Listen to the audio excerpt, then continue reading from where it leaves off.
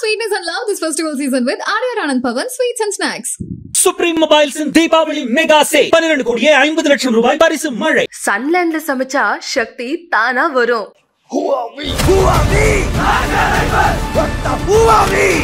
அந்த இமோஷனு சிங்கிள் ஷாட்ல போறாரு. அங்க இருக்க ஆர்மி பீப்புள் எல்லாருமே நான் அப்பதான் யோசிச்சேன். ஐயோ சிங்கிள் டேக்கா இவர்கிட்ட நிஜமான சொல்றேன். அவ்வளோ சூப்பர் அண்ணா சொன்னாங்க தம்பி நீ பாரு இந்த கை தட்டி சீந்தா சினிமால இருக்கும். எல்லாம் Theaterல ஊட்டி பயங்கரமா? ஒரு ஐயோ, ஹைப்பா இருக்கும்.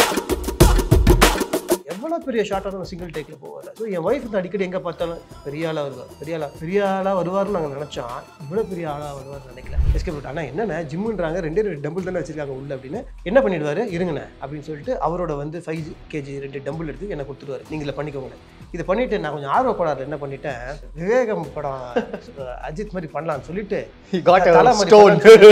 கல்லெல்லாம் தூக்கிட்டு வந்துட்டேன். அவங்க எனக்கு real லைஃப்லே is picking me up on his shoulders the depth is like this okay he is not running on a straight terrain okay, it is a down hill and he has an AK47 in his hand. So, அவர் உங்களை தூக்கிட்டு ஓடணும். தூக்கிட்டு ஓடணும்.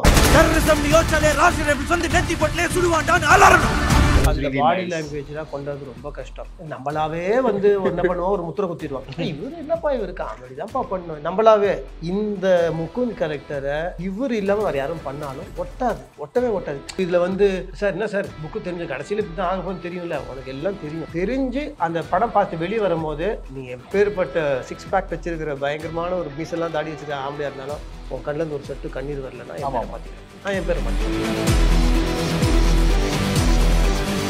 And yes வணக்கம் Galatta Tamil viewers very happy and glad to be with the boys of Amaran yes வணக்கம். வணக்கம். என்ன நீ பாய்ஸ்ன்னு சொன்னது ரொம்ப சந்தோஷமா. சந்தோஷமா இருக்கு. ஆல்வேஸ்ல அந்த டீம் பாய்ஸ் இப்போ நான் அமரன் பத்தி சில கிளிம்சஸ் பார்க்கும்போதும் சரி இப்போ அதை பத்தின கட்ஸ் பார்க்கும்போதும் சரி so Shopian one of the ரொம்ப பரபரப்பான ஏரியான்னு சொல்லுவாங்க. ஜம்மு காஷ்மீர்ல இருக்கிறது ரொம்ப பரபரப்பான ஏரியா ஸோ அங்கே தான் கதை நடக்கிற மாதிரி கேள்விப்பட்டோம். ஆல்சோ இப்போ உங்க team the tiger forty four tiger right 44 cheetah forty four cheetah cheetah camp Cheetah. Camp. எங்களுது கேட் கேட் டீம் உண்மையா சொல்லணும்னா ஃபர்ஸ்ட் ஃபர்ஸ்ட் சிவகார்த்திகேயன் அவர்கள் இந்த மாதிரி ஒரு படம் நடிக்கிறார். லைக் ஃபுல் ஆக்ஷனா பண்ணும்போது வாட் வி தாட் வாஸ் இவருக்கு காமெடி நல்லா செட் ஆகும். ஆக்ஷன் எப்படி செட் ஆகும்? பட் இப்போ போக போக படத்தோட கிளிம்ஸஸ் சாங்ஸ் அண்ட் இந்த இதெல்லாம் பார்க்கும்போது சூப்பரா பண்ணியிருக்காங்க அவர் அந்த உடம்பு ஏற்றதா இருக்கட்டும் அது எல்லாமே கரெக்டாக ரொம்ப அழகா அமைஞ்சிருக்கு. ஸோ உங்களோட தாட் எப்படி இருந்துச்சு? ஃபர்ஸ்ட் ஃபர்ஸ்ட் இந்த மாதிரி ஒரு படம் பண்ண போறாங்க. ஆஹ் அது எவ்வளோ ஆக்ஷனாக இருக்க போது அது காஷ்மீர்லன்றாங்க. அங்க அந்த ஒரு லேண்ட்ஸ்கேப்பாக இருக்கட்டும் அந்த ஒரு வெதர் இதெல்லாம் எப்படி அடாப்ட் பண்ண போறதுன்னு நான் ஒரு காஷ்மீரி சரிங்களா? ஓகே அப்படியா? காஷ்மீரி தான் proper. Born and brought up in Kashmir. சும்மா காலேஜ் வரும்போது தான் இங்க வந்தேன் சென்னைக்காக. ஒரு மூணு வருஷம் தான் ஆயிடுச்சு. வரும்போது ரொம்ப டிஃபிகல்ட்டிஸாக ஃபேஸ் பண்ண தமிழ் வராது. லாங்குவேஜ் இங்கிலீஷ் தான் அப்புறம் ஹிந்தி பேசிக்லி நம்ம அப்புறம் நம்ம காஷ்மீரில் ஸ்பீக்கிங் லாங்குவேஜ் காஷ்மீரி தான். அது கூட ஹிந்தி இல்லை. சரி. காமன் கனெக்டே எதுவுமே இல்லை. சரிங்களா? அப்புறம் வரும்போது காலேஜ் வரும்போது ரொம்ப கஷ்டமா இருந்துச்சு. அந்த தாட் ப்ராசஸ் நான் தப்பு பண்ணாமா? திருப்பி வீட்டுக்கு போகலாமா என்னப்பா இதெல்லாம் எனக்கு எதுவுமே வராது மனசுல. பட் அந்த டெடிகேஷன் இருந்துச்சு. தமிழ் இருக்கு இப்போ நம்ம தமிழ்நாட்டில் இருக்கு தமிழா கத்துக்கணும். அந்த தமிழ் கத்துக்காகுது அ- அப்புறமா இந்த படம் எனக்கு கிடைச்சது. உண்மையா பாம்பே ட்ரைனிங் போகும்போது தான் எங்களுக்கு வந்து எங்களுக்கு தெரியாது. நான் திடீர்னு என்ன காஷ்மீர்ல ஷூட்டிங் அப்படின்னா காஷ்மீரா? அடாடாடா. இப்படிதான் இருக்கும் மைண்டு. ஓகே மிலிட்ரி படமா? எனக்கு சின்ன வயசுல இருந்தே எனக்கு மிலிட்ரிலாம் ரொம்ப ஆசை. எனக்கு. சரி சரி. சரி மிலிட்ரியில் சேரணும் நான் ஏற்கனவே சொல்லியிருக்கேன் மிலிட்ரியில் சேரணும்னு வீட்டு வீட்டில் வெடி ஓடி போய் ரயில்வே ஸ்டேஷனில் படுத்து ரயில்வே போலீஸ் நைட்லாம் பிடிச்சிட்டு போயிட்டு அப்புறம் தான் எங்கள் அப்பா எனக்கு ஒரு அறிவு குணம் திறந்தாரு. பேசிக்காக டென்த்தாவது பாஸ் பண்ணுறா அப்படின்னு. அப்போ தான் வந்து ஓ டென்த்தே நம்ம பாஸ் பண்ணல. எங்கள் அப்பா சொன்னார் உனக்கு நூறுரூவா தரேன் வேலு மிலிட்ரியில் வேணால் போய் சாப்பிடு. இந்தியன் மிலிட்ரியில் போய் சேர முடியாதுன்னு. ஆனால் அந்த ஆசையை வந்து அந்த யூனிஃபார்ம் போடணுன்றது ஒரு ஒரு ஆசை. நீங்க ஃபர்ஸ்ட் ஃபர்ஸ்ட் பார்க்கும்போது அவர் எந்த ஷோல பாத்தீங்க அவர் ஆங்கரா இருக்கும்போது. நீங்க விஜய் டிவி நாங்கள் ஆதிகாலம். ஆ அதானே? ஆமா நாங்க பாய்ஸ் வர்சஸ் கேர்ள்ஸ் ஆ. முன்னாடி இருந்தேன் எப்போ போனாலும் என்ன கேட்குறாப்போ இல்லையோ அண்ணி எப்படி இருக்காங்க? அண்ணி எப்படி என் ஒய்ஃப் மேல அவ்வளோ மரியாதை. நாங்க தியேட்டரில் பார்த்துப்போம் மாலில் பார்த்துப்போம். நிறைய அதாவது நான் நானும் என் ஒய்ஃபும் வந்து ஆரம்பத்துலேருந்து ஆங்கரிங் பண்ணும்போது ரொம்ப பிடிக்கும். ஸோ யதார்த்தமா இருக்கும். Though I had many friends who anchors எனக்கு. அப்படி இருந்தாலும் ஒரு யதார்த்தம் ஒரு உண்மை அதில் இருக்கும். ஜாலியாக இருக்கும். ஸோ நானும் என் ஒய்ஃப் சொல்லிட்டே இருப்போம். இல்லை பெரிய ஆளாக வருவாப்பில். ஸோ என் ஒய்ஃப் வந்து அடிக்கடி எங்கே பார்த்தாலும் பெரிய ஆளாக வருவார் பெரிய ஆளாக பெரிய ஆளாக வருவார்னு நாங்கள் நினச்சோம் இவ்வளோ பெரிய ஆளாக வருவார்னு நினைக்கல. ஆனால் இன்றைக்கும் அதை மறக்காது. என்னென்னா அங்கே போனோன்னே எங்களை ஹக் பண்ணி ஸ்ரீயண்ணா அந்த என்னை எப்படி ஒரு பதினஞ்சு வருஷத்துக்கு முன்னாடி கூப்பிட்ட ஸ்ரீ அதே சிவகார்த்திகேயன். அது எல்லாருக்கும் கிடைக்காது. எல்லாரும் அப்படி இருக்க மாட்டாங்க. இல்லை இல்லை. நிறைய நான் கேள்வி கேட்டேன். நிறைய பசங்க சொன்னாங்க சிவகார்த்தினா ஒரு ஃபேமிலி மேன் ஃபேமிலி ஆடியன்ஸ் பிடிக்கும். அது எப்படின்னா அது உண்மையாக ஷூட்டிங் பண்ணும்போது சிவான்னு ஒரு ஃபேமிலி வந்துச்சு. காஷ்மீர்ல.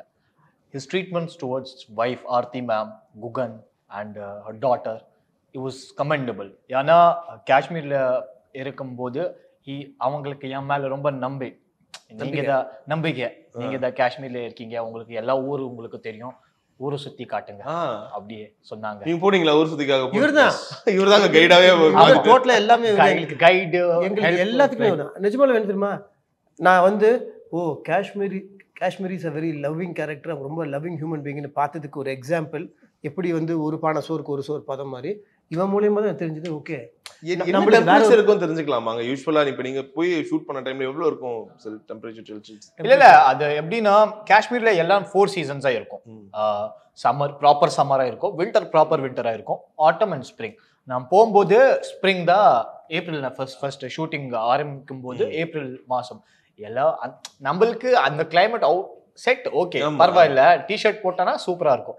தமிழ் பசங்களுக்கு ரொம்ப ஒரு மாதிரி. ஆயிடுச்சு. கஷ்டம் இவன் கொடுத்த பேண்ட் தான் போட்டுட்டு இருந்தேன்னா அப்படியே ஏப்ரல்லே அவ்வளவு குளிரா? ஆமா. ஆனா இது என்னன்னா எங்களுக்கு வந்து இவ வந்து எஸ்கே ப்ரோக்கு பயங்கர க்ளோஸ் இப்போ வந்து கொஞ்சம் பேசுறான் ரொம்ப மரியாதையா பேசுன்ட்டு. அண்ணா ஃபோன் பண்ணுவான். அண்ணா எஸ்கே ப்ரோ சொல்லுவார். ஏங்க இவன் எப்படி நம்ம கூப்பிடுறான்? அண்ணா ஃப்ரீ அண்ணா அவனை நம்ம இன்னைக்கு கூப்பிடுவோம். என்னடா ஒண்ணு அண்ணாவை கூப்பிடுறா? இல்ல அவன்? அப்படின்ட்டு தான் அண்ணா இன்னைக்கு நைட் நம்ம சாப்பிட போறோம். எஸ்கே ப்ரோ கூப்பிட்டான் கூப்பிட்டான் இல்லடா கூப்பிட்டான் ஆ, என்னன்னா அவ்வளோ விளையாடுவாரு எடுத்துக்கவே மாட்டார். இவனை வந்து அவ்வளோ தம்பியா எக்ஸாக்டா இப்போ சிவகார்த்தியனோட பிசிக்கா பார்க்கும்போதே பயங்கரமா ஏத்தி இருந்தாங்க நீங்க எல்லாருமே அதுக்கு ஏத்த மாதிரி பிசிக் ஈக்குவலா மெயின்டைன் பண்ணி என்ன தெரியுமா அங்க அங்க ஒர்க் அவுட்லாம் பண்ணுவீங்களா? இதான் சொல்றேன். என்ன ஆயிடுச்சுன்னா எப்படி எனக்கு ஹெரணியா வந்து ரீசனை சொல்லிடுறேன். அங்க வந்து பஹல்காம்ல ஷூட்டிங் அங்க ஜிம்மு கிடையாது. ஒரே ஒரு ஜிம்மு இவர்கிட்ட கேட்பேன் எஸ்கே போட்டு அண்ணா என்னண்ணே? ஜிம்முன்றாங்க ரெண்டே ரெண்டு டம்பிள் தானே வச்சிருக்காங்க உள்ள அப்படின்னு. என்ன பண்ணிடுவாரு? இருங்கண்ணே அப்படின்னு சொல்லிட்டு அவரோட வந்து ஃபைவ் கேஜி ரெண்டு டம்பிள் எடுத்து எனக்கு கொடுத்துருவாரு. ம். நீங்க இதில் பண்ணிக்கோங்கண்ணே. இதை பண்ணிட்டு நான் கொஞ்சம் ஆர்வ கோளாறுல என்ன பண்ணிட்டேன் நம்ம வந்து இந்த விவேகம் படம் அஜித் மாதிரி பண்ணலாம்னு சொல்லிட்டு கல்லெல்லாம் தூக்கிட்டு வந்துட்டேன். அங்க அந்த வேலியில இருந்து இவ்வளவு இவ்வளவு பெரிய பாறாங்கல் போட்டு அந்த குளிர்ல போயிட்டு அந்த கல்லை தூக்கி எக்ஸசைஸ் பண்றது. ஐயோ. அது ஏதோ ஒரு தப்பாகி இரண்டியா வந்துருச்சு. செம்ம வலி. ஷார்ட் நடந்துட்டு இருக்கும்போது நடந்துட்டு அங்கேருந்து எஸ்கேப் சொல்லுவார் பார்த்துட்டு ஓடாதீங்க நடக்காதீங்க. கண்ணை தூக்க முடியாது. கண்ணை தூக்கி லல்லு கிட்ட கொடுத்துருவேன். வெயிட் ஒரிஜினல் கண்ணா அது. எல்லாம் ஒரிஜினல் கண். ஓ. ஃபிசிக்க்கு பதிலா நான் சொல்றேன். நீங்க சொன்னீங்க. ஃபிசிக் நான் ஃபர்ஸ்ட் சிவகார்த்திகேயன் பார்க்கும்போது பாம்பேல இதை பார்த்தேன். அவங்க ஒரு த- தாடி மாவீரன் கெட்ட மாவீரன் getup. வெரி லீன் கை சரிங்களா? யோசிக்கிட்டேன். Okay this guy is when he comes to an army costume we never know. சரிங்களா? ஒரு மாசம் ஆயிடுச்சு. சந்தீப் ஒருத்தர் ட்ரெயினர் அவங்க ஒரு ட்ரெயினர் செம்ம வேற level if you see him Yeah, மலை yeah, மாடு yeah. மாதிரியே இருக்காங்க அவன். மழை மாடா? சாரி சரி சொல்லிட்டு அப்புறம் என்ன சாரி. ஸோ அவ்வளோ பெருசா இருக்காங்க. சரிங்களா? But very good trainer and I also train with him ஏன்னா படம் பணம் முன்னாடி I was also a lean guy but Raj sir சொன்னாங்க you have to maintain a very good physique because you playing not a boy you playing a man and that character has to be justified அதனால நான் லைட்டாக உடம்பு ஏற்றுட்டேன் அப்படியே சிவா அண்ணா what I see in Bombay and then the day I saw him on set அந்த costume போட்டு அந்த sun glasses Mm. Fade cut he came i just said okay this is the hero. That day i realized uh, that day i just got a visual. Okay he he is looking strong. ஒரு scene இருந்துச்சு அந்த அஹ், ஒரு village இருக்கு. அது மலை மேல ஒரு வில்லேஜா இருக்கும் சரிங்களா? அங்க ஒரு செம்ம ஆக்ஷன் சீன் அந்த ஆக்ஷன் சீன்ல என் weight my body weight was seventy seven kgs okay Siva அண்ணா என் கூட ஹைட்டா இருப்பாங்க பட் அவங்க ஒரு வெயிட் ஒரு செவன்டி ஃபைவ் கே தட்டோ இருந்துச்சு. And also he was handling in AK forty seven four kgs ஒரு கன் வெயிட் எப்படின்னா அவங்க எனக்கு real லைஃப்லே he's picking me up on his shoulders The depth is like this okay he's not running on a straight terrain okay, it is a downhill and he has an AK-47 in his hand not even a single take he did oof ah nothing that day I realized what is what a strong man he is அவர் உங்களை தூக்கிட்டு ஓடணும் Yes. தூக்கிட்டு ஓடணும் and then கையில he, gun வேற yeah, இருக்கு. he has a gun and then he walks in a Gun, stance fire like like a பண்ணணும். hero And then he goes like it was crazy it was அந்த body. லாங்குவேஜ்லாம் கொண்டாடுறது ரொம்ப கஷ்டம். நம்மளாவே வந்து என்ன பண்ணுவோம்? ஒரு முத்திரை குத்திடுவோம். இவர் என்னப்பா இவர்? காமெடி தான்ப்பா பண்ணுவோம் நம்மளாவே. ஒரு நான் நவீன் நிஜமாவே சொல்றேன். நான் ஏற்கனவே நம்ம இன்னொரு இன்டர்வியூ கூட சொல்லியிருந்தேன். இந்த முகுந்த் கேரக்டரை he justified it. இவர் இல்லாம வேற யாரும் பண்ணாலும் ஒட்டாது. ஒட்டவே ஒட்டாது. இவன் என்னடா இவன் வந்து எஸ்கேக்கு ஜாலரா அடிக்கிறான்? நீ ஏற்கனவே நம்ம என்ன சொன்னாலும் தப்பா தான் எடுத்துப்பாங்க. எடுத்துட்டு போட்டோம். பட் இதான் உண்மை. ஓகே அதே மாதிரி டெடிகேஷன் நான் சொல்லும் போது எவ்வளவு கத்துக்கிறோம் எவ்வளவு பெரிய ஷார்ட்டாக இருந்தாலும் சிங்கிள் டேக்ல போவார். ம். ஆமா. அந்த டைரக்ஷன் டிபார்ட்மெண்ட்ல அசிஸ்டன்ட் டைரக்டர்ஸாக இருக்கட்டும் டைரக்டர் வந்து கோவமே பட மாட்டார். ஆமா. yeah I've, I've, I've seen seamer அவ்வளவுதான். இன்ஃபேக்ட் எங்களுக்கு முன்னாடி அமரனோட அந்த சின்ன டீசரா இருக்கட்டும் கிளிம்சஸ் பார்க்கும்போது ஒரு பயங்கர எலிவேஷன் ஆனது. இந்த தியேட்டர்ல எப்படி இருக்கும்னு பார்த்தது வந்து who are we who are we அது இட் வாஸ் லைக் அது தியேட்டர்ல எப்படி இருக்கும் அது எந்த ஒரு மூமெண்டா இருக்கும் ஓகே ஓகே ஒரே ஒரு தர சொல்றேன். அது சீன் ஷூட் பண்ணும்போது இட் ஹேட் ஒரு பெரிய சீன்ல it was the first scene that we did in the movie அந்த எல்லாம் போட்டு கன்ஸ் எல்லாம் மேட்டு நிறைய ஆர்மிகார பசங்க இருக்காங்க சரிங்களா original army man this guy comes in with blood makeup on is like who are we and that Josh came in Rashtriya Rifles and everyone and in that he there's an exceeding dialogue right then whatever he says it was extremely good it was secular everything was really nice about it and every army man when the director said cut they came they clapped. And they clapped for three Original- minutes. reality reality la army man வந்து அவங்க என்ன என்னது இது? Cinema இல்ல. நானே. என்னன்னா அந்த first இவன் சொன்ன மாதிரி ஃபர்ஸ்ட் ஷாட் நாங்க எடுத்தோம். ஃபர்ஸ்ட் ஸ்கெடியூல்ல நான் வாயை திறந்து பார்த்துட்டு இருக்கேன். ஏன்னா எல்லாம் டஃப் டைலாக்ஸ் கரெக்டான ஸ்பெசிஃபிகேஷன் கொடுக்கணும். எத்தனை இதுன்னு இருக்கும். அந்த இமோஷனு அந்த அந்த சிங்கிள் ஷாட்ல போறாரு.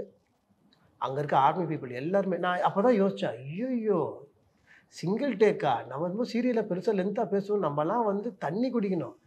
இவர்கிட்ட நிஜமான சொல்றேன். அவ்வளோ சூப்பர் வேற லெவல் எனக்கே கூஸ் பம்ப் வந்துச்சு.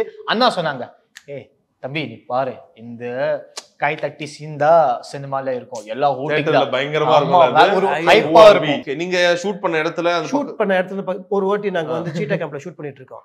அவன் வந்து பேரா என்னடா பேரா பேரகமாண்டோ திடீர்னு சைன் வராங்க ஒரு பெரிய அதாவது ட்ரோன் வந்து இவ்வளவு பெரிய ட்ரோனா இருக்கு. ஆ. அங்க. சுத்தி ஆப்பிள் ஆர்ச்சர்டு ஓகே. அப்போ ஒரு கதையை ஒருத்தர் சொன்னாரு.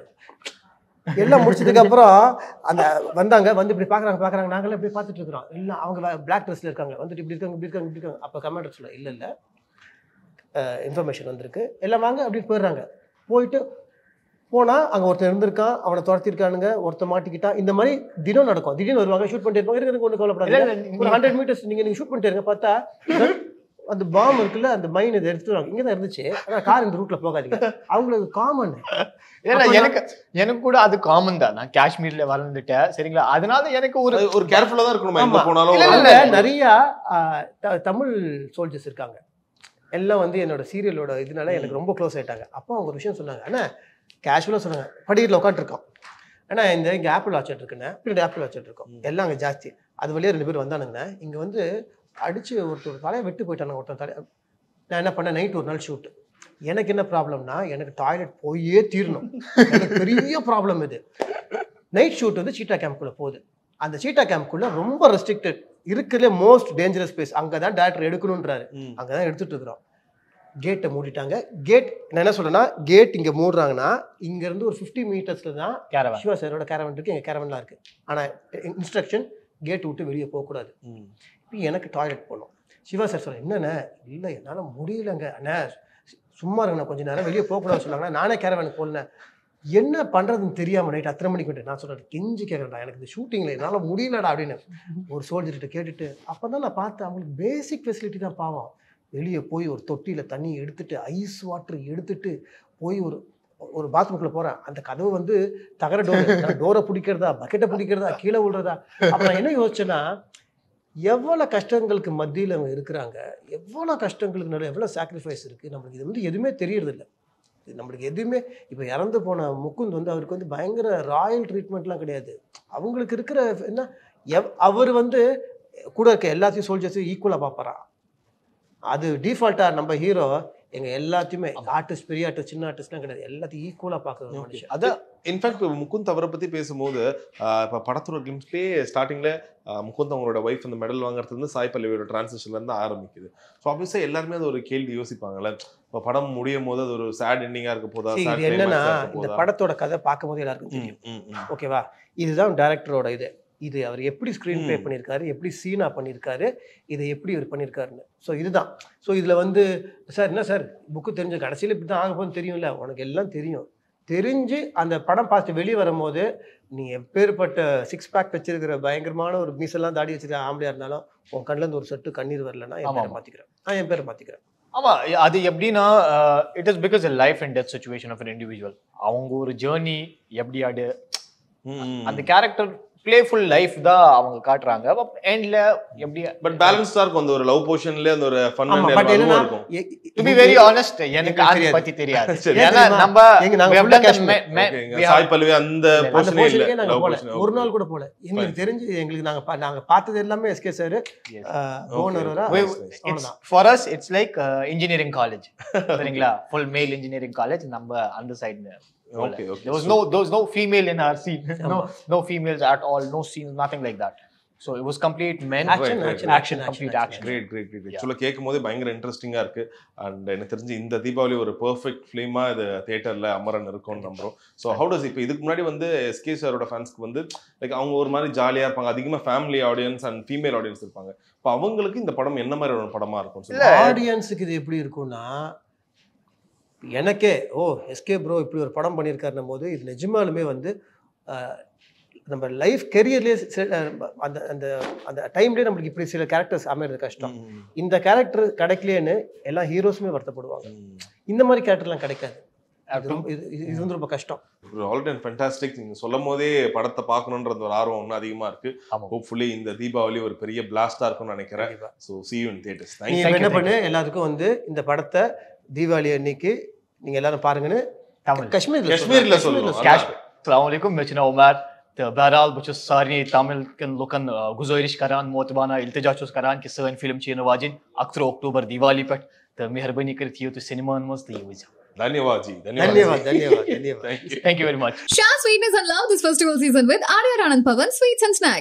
சுப்ரீம் மொபைல்ஸின் தீபாவளி மெகா சே பன்னிரண்டு கோடியே ஐம்பது லட்சம் ரூபாய் பரிசு மழை. சன்லேண்ட்ல சமைச்சா சக்தி தானா வரும்.